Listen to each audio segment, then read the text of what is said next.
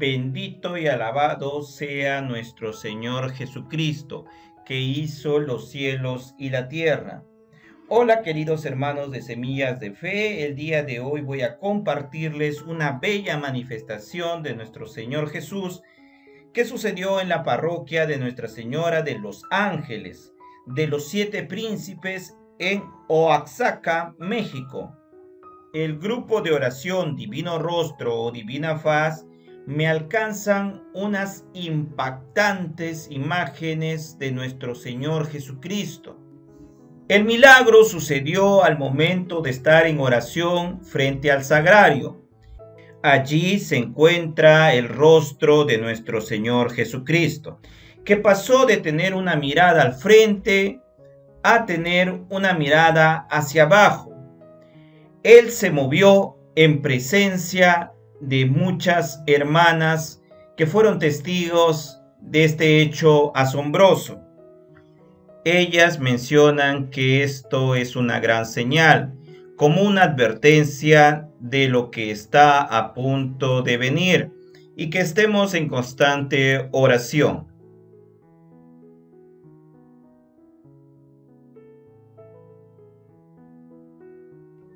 Después de pasar las imágenes, vamos a pasar unos audios donde ellas mismas dan testimonio de este hecho.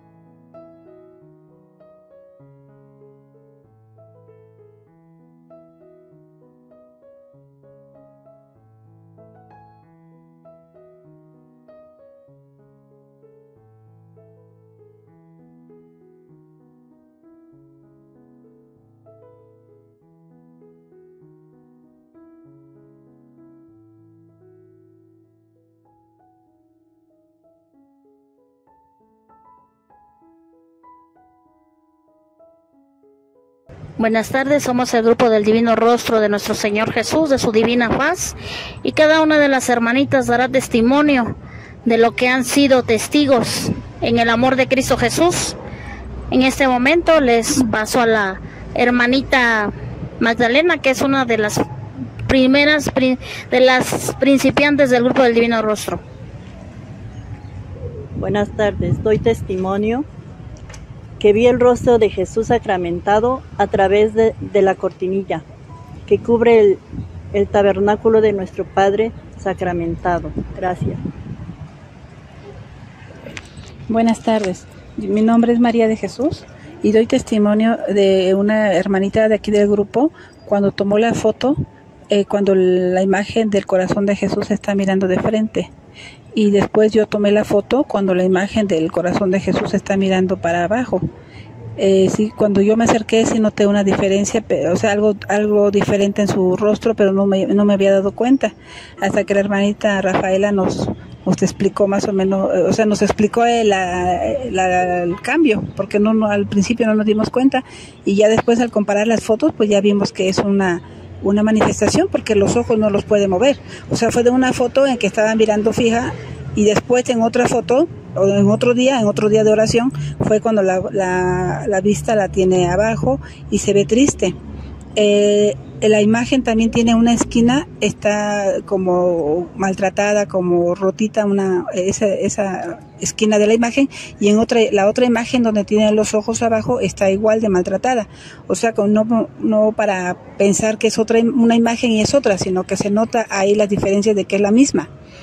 En una, eh, está como, su carita está como arañada y el mismo arañazo tiene en la otra imagen, pero con los ojos más tristes.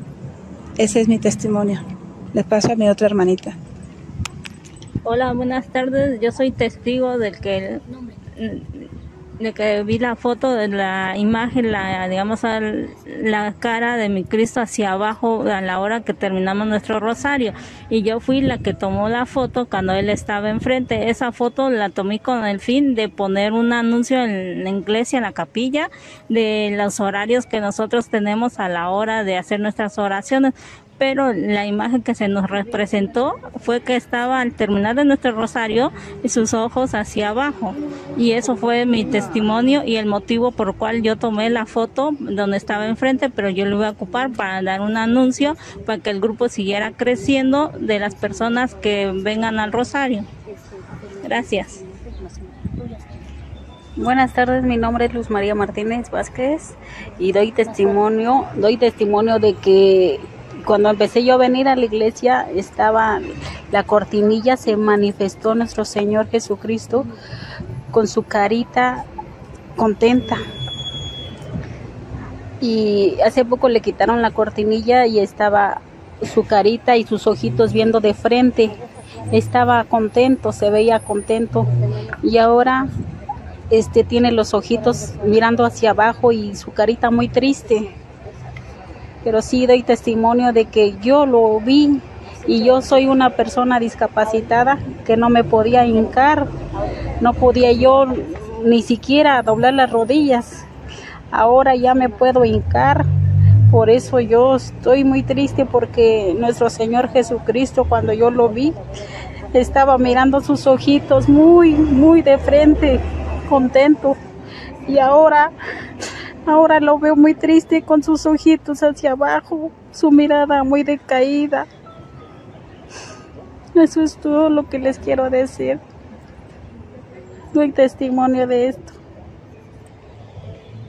Me llamo Luz, tengo siete años y lo que estuve viendo en el rostro de Jesús es que estaba feliz y, y ahora ya en su rostro ya está triste, los ojos miran para abajo y cuando estaba feliz tenía los ojos para enfrente y ahora los tiene para abajo. Nombre. Buenas tardes, mi nombre es Rufina Mariche Silva. Pues el Señor me trajo acá la oración porque yo hay cierto tiempo que desde entonces acostumbro a pasar a cualquier santísimo a saludar, buenas tardes, buenos días. Y en esa ocasión pasé un martes aquí a la iglesia de los siete príncipes y estaban las hermanitas haciendo oración. Me invitó la hermanita Rafaela y pues gracias a Dios desde entonces he venido los martes y viernes. Y pues sí, yo vi en el cortinilla, en la cortinilla que estaba el, el rostro del Señor. Gracias a Dios, el primer día que fui, yo, yo lo vi y lo seguía viendo. Claro, no todas las personas lo ven, pero yo fui una dichosa, gracias a Dios, lo vi.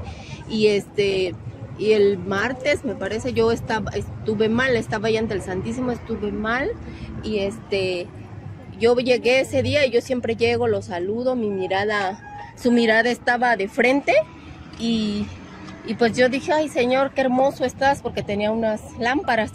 Después, este, ya la hermanita, yo no observé en, que la en qué momento su mirada fue hacia abajo, pero sí, después ya tenía su mirada hacia abajo. Y como le comentaba yo a la hermanita Rafaela, pues algo nos quiere decir, ¿qué, qué nos quiere decir? Y pues yo me siento dichosa, gracias a Dios, porque me está siendo partícipe de esas maravillas y yo no necesito este ver para creer, yo creo y él pues me está dando esa dicha, esa bendición y le doy gracias.